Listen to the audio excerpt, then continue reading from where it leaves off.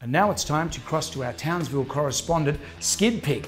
Skid Pig gets a CVO road glide, not to keep, I hope. I should be getting a bike. Where's my bike? All right, back at Sun City Harley, time for another test ride. Check this out, guys. Custom vehicle operations. CVO time. Let's go for a burn.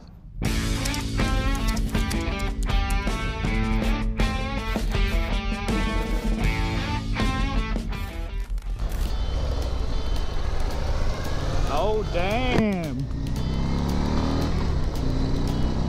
CVO! Woohoo! Never ridden one of these before. Now we got this bike for a while guys, so let's go to the servo, fill it up with some petrol and get stuck into it. So these bad boys don't have a key, you have the fob that's in your, or in my pocket, not in your pocket. So this little beauty is a 2018 CVO Road Glide. Oh yeah.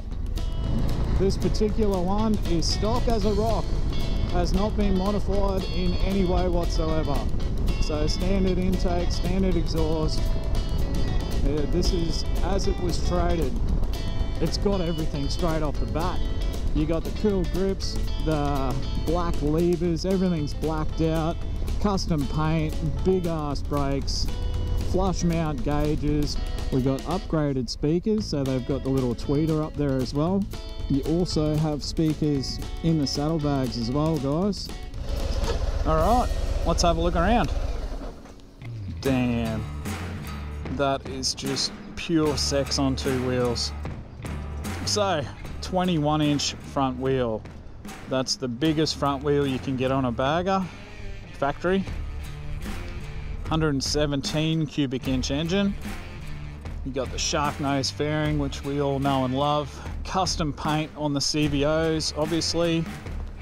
Everything you see is stock as a rock. So you've got the big deadly floorboards, heel and toe shifter, and you do get a key, which is pretty cool. Is a flip key, and as you can see, it has lock and unlock on it. So, lock can't get into your saddlebags. Unlock, you're in. How cool is that? Well, that's enough staring and dribbling. Let's get to riding.